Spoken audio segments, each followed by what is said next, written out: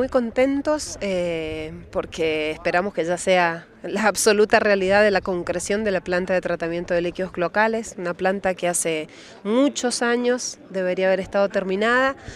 una planta que es necesaria no solamente para los vecinos de Cuadro Nacional que sufren estos fuertes olores que estamos viviendo y experimentando todos, sino para todo San Rafael. San Rafael está colapsado en términos de cloacas,